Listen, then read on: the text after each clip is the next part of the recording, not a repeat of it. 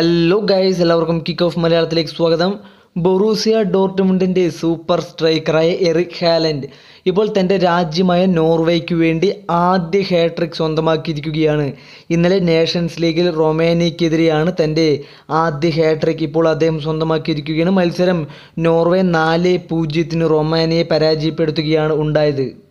മത്സരത്തിന്റെ പതിമൂന്നാം മിനിറ്റിൽ തന്നെ ഹാലൻഡ് തന്റെ ആദ്യ ഗോൾ നേടുകയുണ്ടായി. അതിനുശേഷം രണ്ടാം പകുതിയിൽ അറുപത്തിനാലാം മിനിറ്റിലും എഴുപത്തിനാലാം മിനിറ്റിലുമാണ് അദ്ദേഹം ഗോൾ നേടി ഹാട്രിക് പൂർത്തിയാക്കിയത്.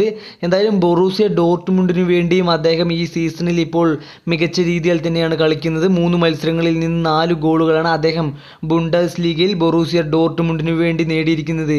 ഇപ്പോഴിതാ തന്റെ രാജ്യത്തിന് വേണ്ടിയും അദ്ദേഹം തന്റെ ആദ്യ ഹാട്രിക് നേടിയിരിക്കുകയാണ്. കൂടുതൽ വാർത്തകൾക്കായി സന്ദർശിക്കൂ.